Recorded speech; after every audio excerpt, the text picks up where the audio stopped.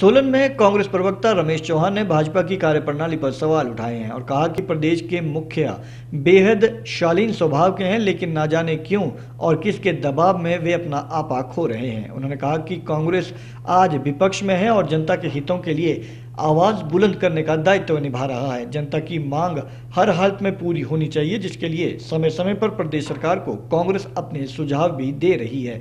लेकिन प्रदेश के मुखिया उन सुझावों पर गौर नहीं कर रहे हैं। यहाँ तक कि उन पर किसी भी तरह की चर्चा करने से भी वे कतरा रहे हैं, जिसके चलते हिमाचल की जनता बेहद परेशान है।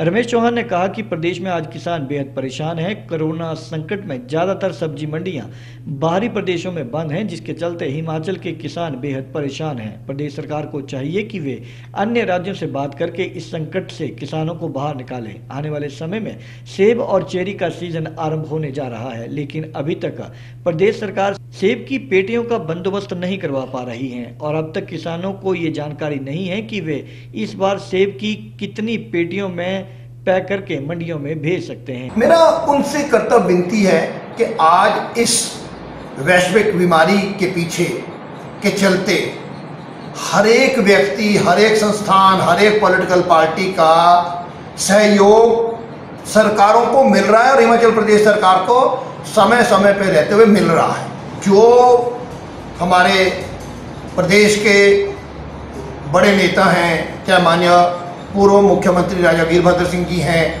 हमारे प्रदेश कांग्रेस पार्टी के अध्यक्ष कुलदीप राठौर जी हैं, हमारे नेता,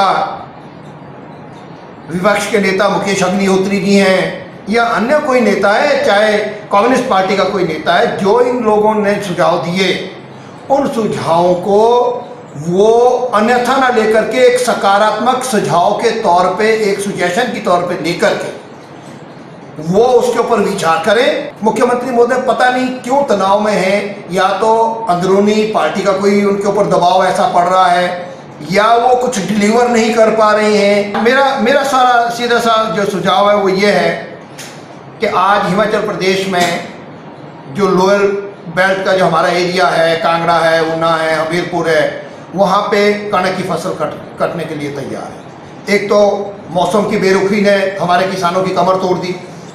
ऊपर से लेबर नहीं मिल रही है। आने वाले समय में आप अभी अगर हाल ही की बात करें तो ऑफ़ सीज़न वेजिटेबल जो है वो तैयार होके तैयार हो गई है। मटर का कोई खरीदार नहीं है। ब्रोकली का कोई खरीदार नहीं है। गोभी, बंद गोभी, फूल गोभी का कोई खरीदार नहीं है। मार्केटिंग उसकी हो नहीं पा रही है। तो मेरा सुझाव है कि सरकार समय रहते, इसके बारे में कुछ करे। दूसरे प्रदेश की सरकारों से, मंडियों में बात करें, चेरी की फ़सल तैयार है। सेब का सीज़न आने वाला है। उसके लिए पेटियों का भी कोई प्रबंध नहीं होया हुआ है।